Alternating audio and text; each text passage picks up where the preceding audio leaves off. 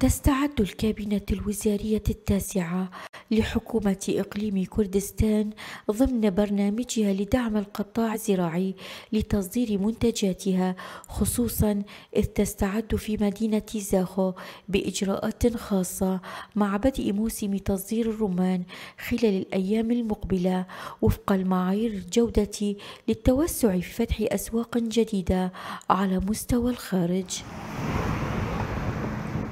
برنامج التصدير آه، بدون شك آه، حكومة الإقليم ورئيس حكومة الإقليم الأستاذ مسرور بارزاني يهتمون بهذا الأمر لأنه بقدر ما يتم افتتاح أسواق جديدة للمنتوجات والمحاصيل الزراعية هذا راح يشجع الفلاحين على أن يهتمون أكثر بزراعة هذه المحاصيل. وراح يصير اجتماع مع كل المنتجين للرمان في مدينة زاخو وأطرافها وأغضيتها وراح يتم حصر الكميات المنتجة كم طن وبالتالي المهم إنه هسه أكو جزء من هذا الرمان رايح للفحص راح يصير له فحص فيزيائي وكيميائي وأنا أعتقد راح ينجح بالفحص حتى يتهيأ للتصدير.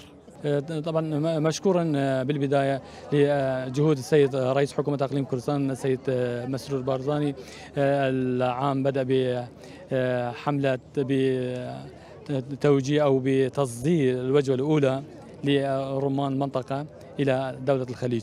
التجار دا يحاولون دا يحاولون آه، شراء المنتوج المحلي. أكو سوق مفتوح لهم. نحن في إطار تصدير آه، المنتوج المحلي للرمان إلى الخارج ضمن برنامج حكومة إقليم كردستان دائما المدعوم دعم للفلاحين. آه، إنتاج الرمان بحدود 12 إلى 14 ألف طن. المساحات المزروعة بحدود 2825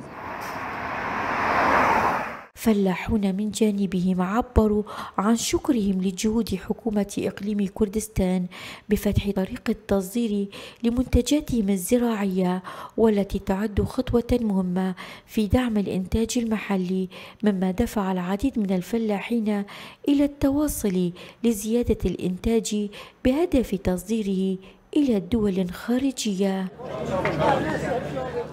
نشكر حكومة أقليم كردستان على أساس يصدرون الرمان مالنا إلى إلى الإمارات.